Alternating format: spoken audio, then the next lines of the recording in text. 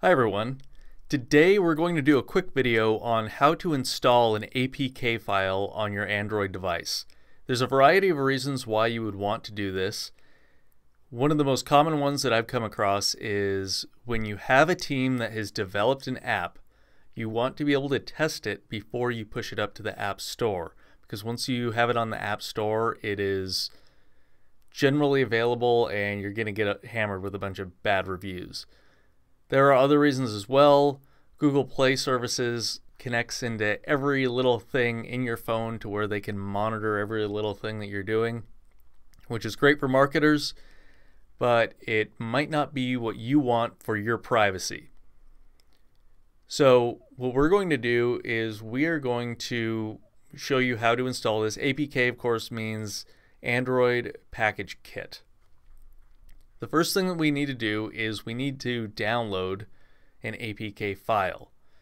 So I have this pulled up right now. This is on the Signal website.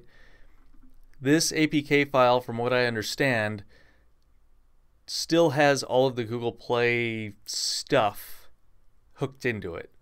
So we're going to go ahead and download the file so that it's in our file system for Google. Now you're going to get a lot of warnings in this process because APK files can contain viruses, but I trust Signal, so I will go ahead and click OK for this and keep the file that we're downloading. Now that we have the file downloaded, we can go to settings, and there's a number of ways we can get here on an Android device I'm sure that you are familiar with. No, I didn't want to open that.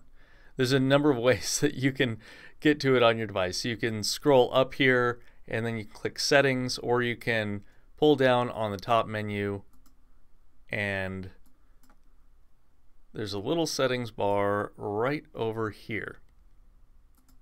So go ahead and click that and go to apps and notifications.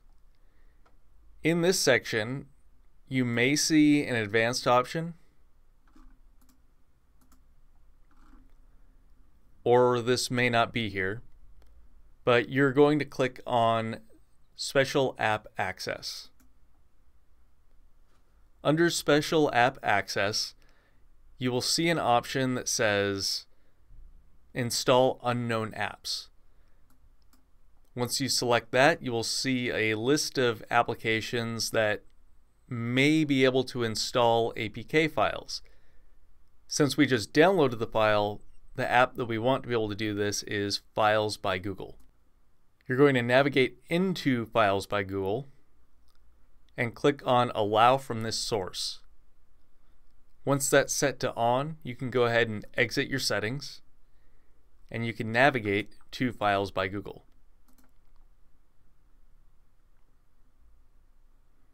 Here you'll see an option for downloads. Navigate in there and you will see Signal Android Web product release 5 point whatever. Click on that and you will see a prompt to ask if you want to install this application. Go ahead and hit install.